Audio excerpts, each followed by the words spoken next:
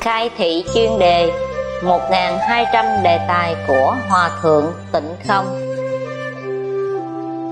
Đề tài 8 Họ nhiễm, ta không nhiễm. Hiện tại không chỉ hoàn cảnh ô nhiễm nghiêm trọng Sự ô nhiễm của tâm người so với hoàn cảnh thì càng nghiêm trọng hơn. Nhất là hai ba mươi năm gần đây sự ô nhiễm đã đến mức độ vô cùng nguy hiểm. Bạn đến nơi nào để xem mà biết? Nơi thị trường cổ phiếu. Thị trường cổ phiếu đông người đến như vậy. Cái tâm con người cao cao thấp thấp, chạy theo con số trên bảng điện tử. Thật quá mệt mỏi. Biểu hiện ra việc gì? Tham sân, si mạng một phút này tham lam, một phút kia ngạo mạn. Việc này thì quá rõ ràng rồi. Loại ô nhiễm tâm người này, sự ô nhiễm rất là khủng khiếp so với hoàn cảnh quá nhiều. Không được rồi. Ngày nay chúng ta ở nơi hoàn cảnh không tốt. Vì sao không tốt vậy? Vì tâm người không tốt. Thời xưa vì sao tốt như vậy? Thời xưa xem trọng giáo dục. Hiện tại mọi người không giảng rõ ràng đối với đạo lý làm người. Họ giảng cái gì? Giảng làm thế nào để kiếm tiền? Chú trọng làm thế nào để tiêu phí?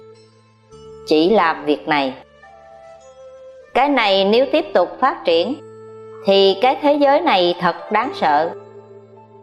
Làm sao mà không gặp phải đại nạn cơ chứ? Chúng ta không cần đi nghe lời dự đoán nào cả. Cũng không cần phải đi nghe lời truyền thuyết nào hết. Bạn xem thấy, tâm người hiện tại thì có thể nhìn thấy ra. Việc này lấy lời nói hiện tại mà nói thì rất là khoa học rất là hiện thực.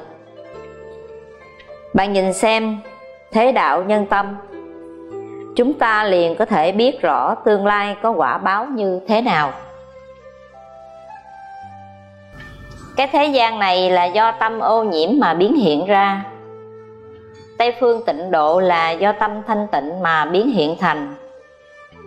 Ngày nay chúng ta ở trong cái thế giới ô nhiễm này, chúng ta tu tâm thanh tịnh họ nhiễm, ta không nhiễm. Họ không thanh tịnh, ta thanh tịnh.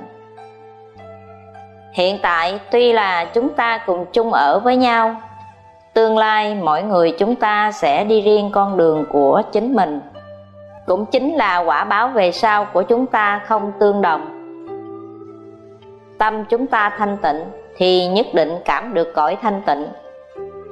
Nếu tâm không thanh tịnh liền nhất định chiêu cảm đến ba đường ác. Cho nên, chơi cổ phiếu. Người thời trước nói, chiếm lấy được tiền rồi. Tiền thời trước thì có cái lỗ. Đã bị lấy đi rồi thì không lấy lại được. Việc này thật đáng thương. Tiền thời trước làm ra kiểu dáng như vậy, đều chính là muốn nhắc nhở con người. Cái kiểu dáng đó giống như công cụ trói buộc bảo bạn nhìn thấy cái đồ vật này thì khiếp sợ. Tiền, cái thứ này đương nhiên là tốt, nhưng phải cẩn thận, vì nó không phải là thứ tốt chân thật. Người không có trí tuệ, mê đắm trong đó thì thật là đáng sợ. A di đà phật.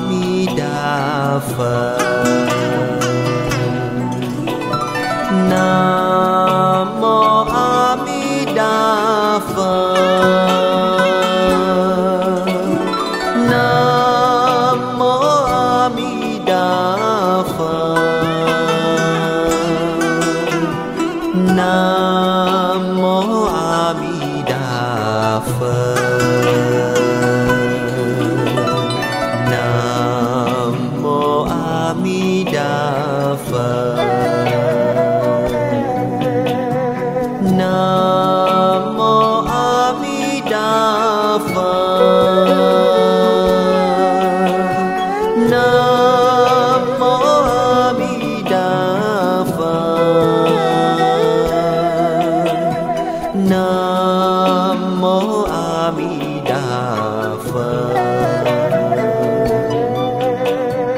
Nam Mô A Di Đà Phật.